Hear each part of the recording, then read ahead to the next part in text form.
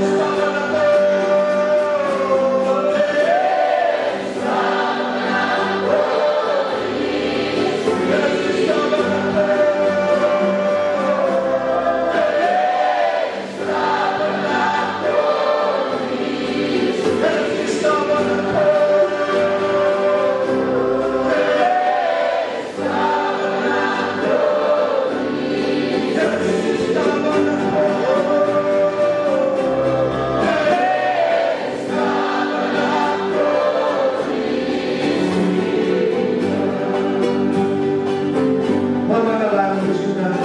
places. And all of us, we are saying, Amen. Thank you, Pastor.